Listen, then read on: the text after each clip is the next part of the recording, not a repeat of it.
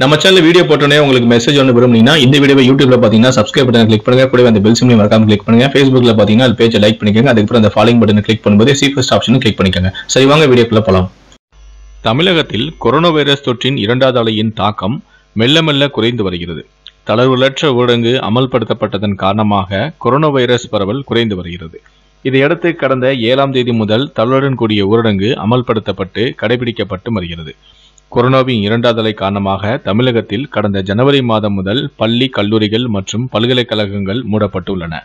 Corona ஊரடங்கு காரணமாக மாணவர்களுக்கு ஆன்லைன் மூலமாக வகுப்புகளும் எடுக்கப்பட்டு வந்தன. தேர்வுகள் நடத்த முடியாத சூழல் ஏற்பட்டதை அடுத்து பத்து மற்றும் பனிரெண்டாம் வகுப்பு பொதுத் தேர்வுகளையும் தமிழக அரசு ரத்து செய்து உத்தரவிட்டது. இந்நிலையில்தான் இன்று தளருடன் கூடிய ஊரடங்கை மேலும் ஒரு வாரத்திற்கு நீடித்து தமிழக அரசு உத்தரவிட்டிருந்தது.